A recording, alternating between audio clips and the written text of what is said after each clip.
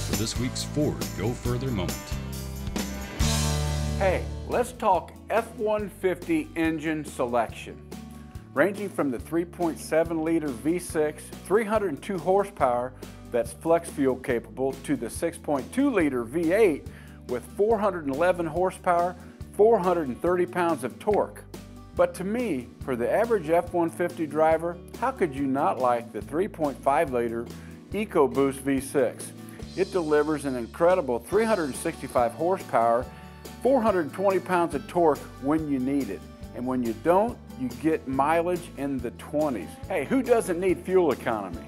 No matter your needs for a truck, get your nearest quality Ford dealer and they will be happy to help you make the right truck selection to get your job done. And while you're there, tell them Bob and Larry sent you.